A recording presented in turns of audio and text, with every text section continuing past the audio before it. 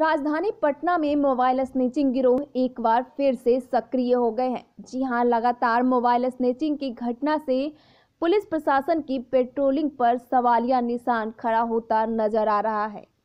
इसी क्रम में ताज़ा मामला पटना सिटी के खाजेकला थाना क्षेत्र के नॉर्थ कोल्ड स्टोर के पास का है, जहाँ दिन दहाड़े बाइक सवार बदमाशों ने युवती से मोबाइल छीनने का प्रयास किया। तो वहीं युवती ने बाइक सवार एक बदमाश को पकड़ लिया और हंगामा करने लगी।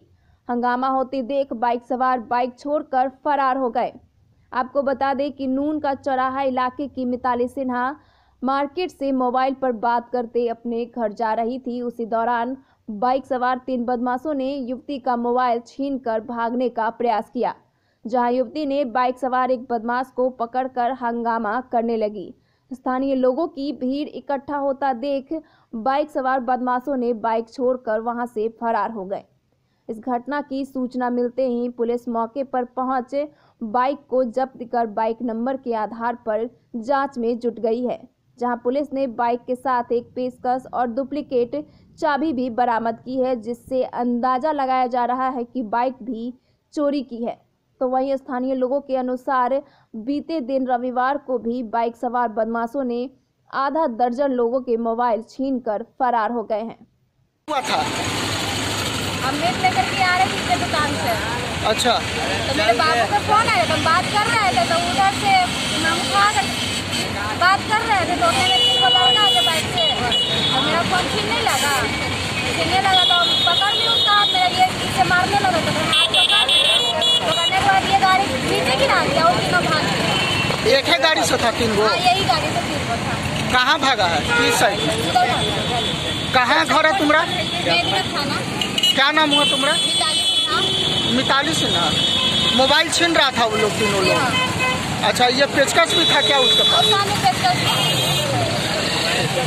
गाड़ी मिला आपको? जानकारी मिला कि मोबाइल और पब्लिक द्वारा तो खदेड़ा गया तो अपने बाइक को छोड़ करके भाग गया। जिसको लेकर के हम अपने थाना पर कितना लोग था बाइक से? बाइक से तीन आदमी तीन आदमी थे। लेकिन वो लोग जब खदेड़ा खदेड़ी हुआ पब्लिक के द्वारा लोग बाइक छोड़ भाग गए। तो अभी हम बाइक कल कल भी इस इलाके में मोबाइल छीना गया झपटी मारा गया। आप लोग तरफ़ से क्या पेट्रोलिंग किया जा रहा है हम लोग कल आज जो है सभी मोड़ पर सारे पुलिसकर्मी हमारे एसओ साहब समेत इसी में लगे हुए थे। हर मोड़ पर आप लोग अगर कोई आप देखा होगा सुबह में देखा होगा हर मोड़ पर लोग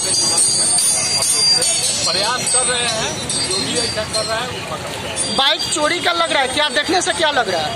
देखने से लग रहा है कि बाइक चोरी का है क्योंकि इसका टूटा हुआ है और चाबी का जो इसका ही है उसमें भी टूटा हुआ है। तो इससे लग रहा है कि बाइक इसका हम लोग वेरीफाई करेंगे नंबर प्लेट से तो पता चल जाएगा कहाँ से चोरी हुआ है। बाइक के साथ क्या बरामद हुआ है?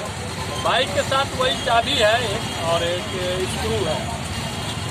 स्क्रू है वही बरामद हुआ है।